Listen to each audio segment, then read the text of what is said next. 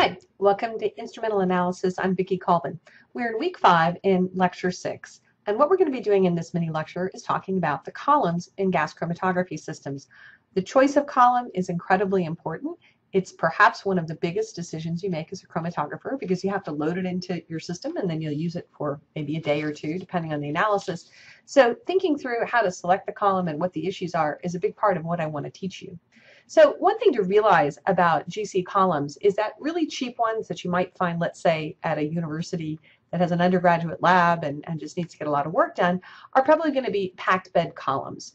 So they'll either have really nicely shaped silica particles, like little beads that sort of pack a thin column, or literally they might be packed with dirt, better known as diatomaceous matter. And that's what's shown over here. What these basically are are just porous columns in which the stationary phase is loaded onto the surfaces of these materials. And so as the gas flows through the column, it's interacting with a high surface area of liquid that helps the chromatography separation happen. The reality is that these columns are pretty old school and that most of the GC you'll find today is done with a very different kind of column called a capillary column. So capillary columns can be extremely long, up to 30 meters, and that's going to give you really, really good resolution. If you remember, the number of plates actually goes proportionally with the length of the column. And they're going to be very, very thin. They're actually thin capillaries of glass. And the sizes are often well under a millimeter.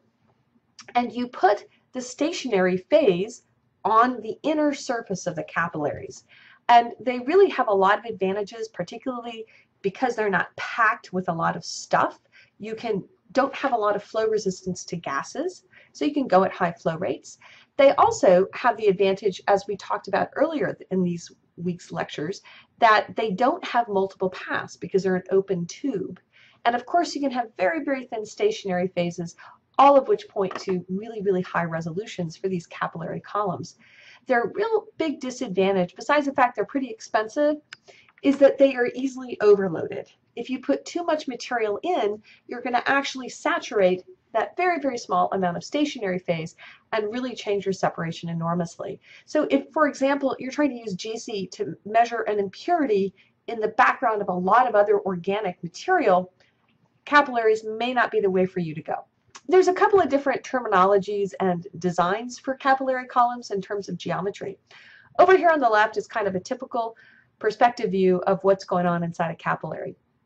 So you're going to have, first off, it starts with glass. Glass that's been pulled into being a fiber that has a hole in the middle. And if that glass is fused silica, then the overall diameter can be much smaller. But what makes it strong and able to coil, like you saw before in that last example, is the fact that these are coated with a polyimide polymer that gives the very, very thin, fragile glass enough strength to survive the oven and the use that you might see in a typical GC operation. Now, that inner surface of the capillary is where the stationary phase is. And there's kind of two different options. Up here, you see a porous stationary phase, which would be a bunch of solid particles upon which a liquid is embedded. That's one example. And in that, you're not going to be able to use a really small diameter column, of course, but you're going to have a lot of capacity for interaction. So you have slightly higher what are called loading numbers. The bottom is a wall-coated open tube geometry.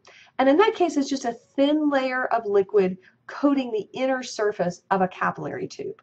And so as you can see, gas chromatography is really gas liquid chromatography. You can have porous supports, as in the PLOT column, or you can just have a thin layer of liquid is in the wall-coated geometry. And you may or may not bond that stationary phase to the glass, and that bonding would be a chemical bonding process that would allow these to operate at even higher temperatures. So this is a really great table just to sort of slowly take a look at because it tells you a lot about the different column geometries. Just to go over, the FSOT is going to be the thinnest of the ones we talked about. That's a fused silica open tube geometry. So as you notice, the inner diameters are the smallest of all of the examples given. Then you have the wall-coated and actually the porous-coated open tube. And then finally, for reference, a conventional packed bed. So right away, you can see that a packed bed is going to have a diameter of 2 to 4 millimeters, which is far greater than any of the open tube geometries. The other thing you're going to notice is that all of the open tube geometries beat the packed bed in terms of net column efficiency, both per length and look at the length difference. You can get up to 30 meters for the open tubes and really you might have six meters if you don't have an open tube. So you get both better efficiency per meter and a much longer number of meters.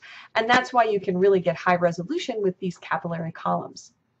You'll also see that you can operate at lower pressures and you can actually get a very good um, loading if you go with the wall-coated or the porous system, but you'll notice in the FSOT, which is the smallest of all of them, that fused silica, really tiny capillary, the sample size in terms of how many nanograms you can get in really is getting small. And the real price of that, you can get tiny amounts of material into a column, but that puts a lot of stress on your detector because now your detector has to be able to see nanogram quantities of materials. And that's the other trade-off. So you might need the resolution. It means you're going to have to spend more to get a more sensitive detector. So let's talk a little bit about what goes on the inside of the column or the stationary phase of a GC system. Now, the stationary phase is an interesting choice, and what you see here in this table are some really classic kinds of materials that you'll find in a GC system. So a polydimethyl siloxane, the siloxane part is what bonds to the glass. So SiO, SiO framework is similar to the glass framework. So really what's presenting at the surface is the dimethyl functionalities on the backbone of that siloxane polymer. That's a classic nonpolar system. And it goes to a particularly high temperature, so you can run with even larger molecular weight, less volatile materials. So a polydimethyl siloxane is a really kind of go-to standard material to use for gas chromatography.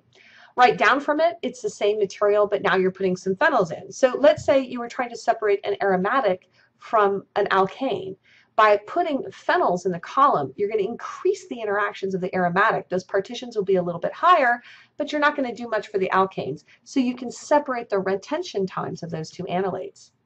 You can put trifluoro um, fluorine functionalities. That's going to be particularly good for heteroatoms. So if you have some chlorine containing system or nitrogen, you'll actually have more interaction with the fluorinated systems.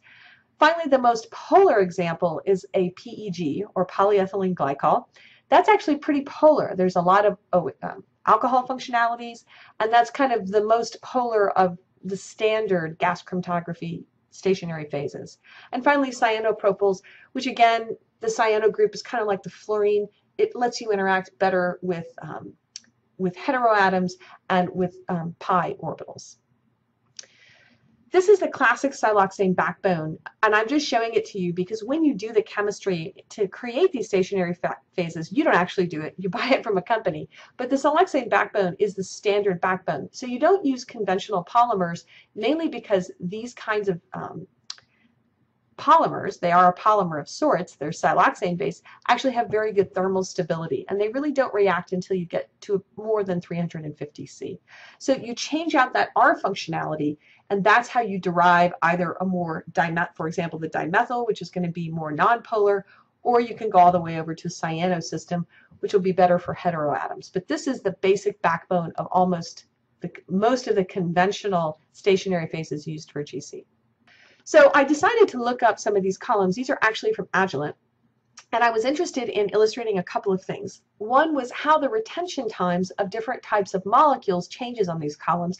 And I also wanted you to give you a glimpse of what a method starts to look like. So if you're going to read a GC method, what's the information that's provided about how the experiment was done? But let's start by talking about the columns themselves. So in these three examples, there are three capillary columns. And you know they're capillary columns because look at the dimensions in all three cases, you have 30 meters long by 0.53 millimeters ID. That's a classic capillary column kind of dimension. You may not have a fused silica system because it's not the very smallest, the 0.1, but it's a pretty small inner diameter. The 3 microns is the thickness of the stationary phase you're working with. The other big difference between these, of course, is the chemistry. So the DB1 is the classic dimethyl siloxane. That's going to be the most polar system that you could have.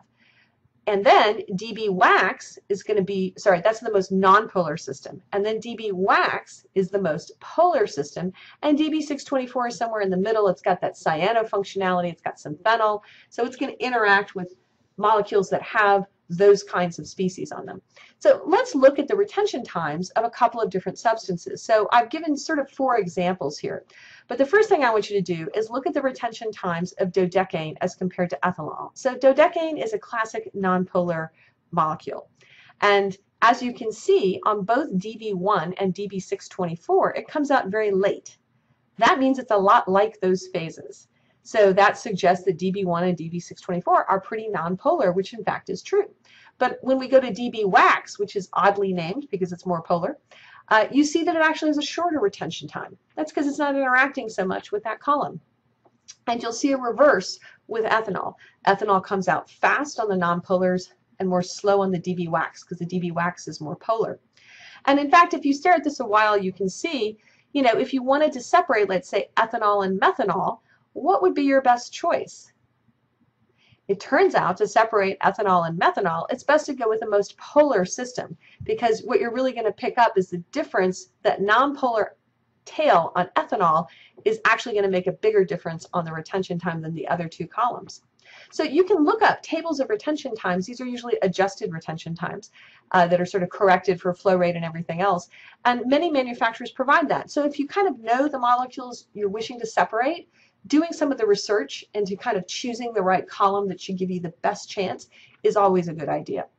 The other thing I want to focus on in this slide is, of course, the methodology that's in these little boxes. And I hope by now you're starting to become familiar with some of what you're reading. So, of course, the column, the DB1, they don't usually tell you the chemistry of the column. You have to go look that up in the manufacturer's literature. They'll give it some trade name. But it's always good if you're running a system to know what the underlying chemistry is in your column. And so we know that DB1, because I looked it up in an index, is a dimethyl polysiloxane system. See the dimensions of the column, which we already talked about, the part number, you know, that's not real relevant unless you want to order it. You'll see the oven conditions used. So in this case, what you're doing is you're going to 40C and then you're actually ramping it as a function of time, which is not an unusual thing to do. Uh, you have a carrier gas of helium, you get the flow rate. You'll notice the injector, it's a split 1 to 10. That means, of course, you might be injecting 10 microliters, but only a tenth of that's entering the mobile phase. And as you're going to hear about in the next lecture, we have an FID detector on the system. Now, uh, one word about the oven. The oven is actually what contains the column. So in a GC system, there are actually three different temperature regimes.